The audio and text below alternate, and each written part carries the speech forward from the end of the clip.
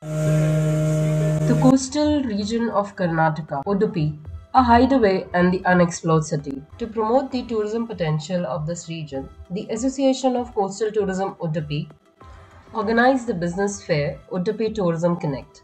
The fair was supported by India Tourism Bangalore and Udupi District Tourism Development Committee.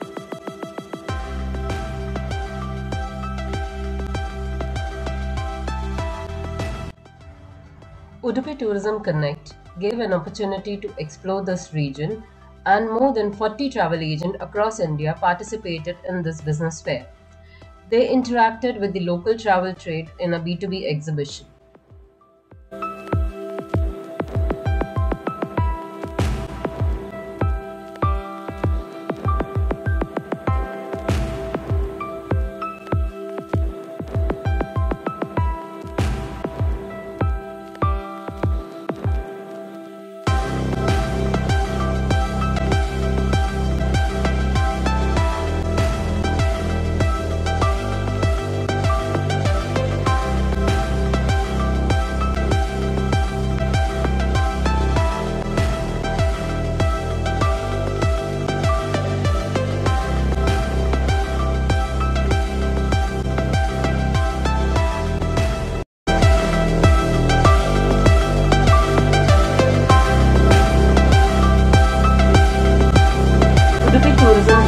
Also organized the FAM trip for the participating 40 travel agent to give them a better understanding of the destination and to bring back more domestic and international tourists to Udupi region. The places covered during the FAM trip were Sri Krishna Mutt, one of the oldest temple of the Udupi region, backwaters at Swarna River, kayaking at Panchagangavalli. The place is also known as the confluence of five rivers.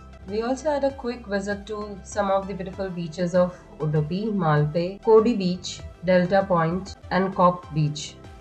We also visited Hastashilpa Heritage Village, which is the multi-dimensional culture project which aims to restore the conservation of the natural culture wealth in the form of traditional building and the objects of art, craft, and artifice.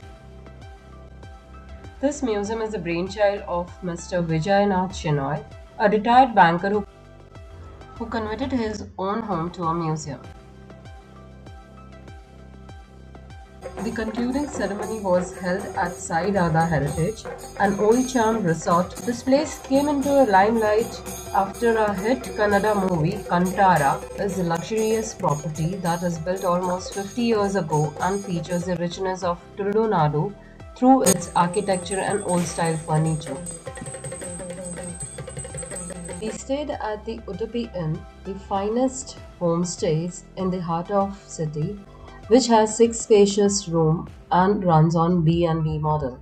And if you are traveling with a family, you can also stay in UVA Meridian Bay Resort and Spa, one of the finest and luxurious property in Kundapur.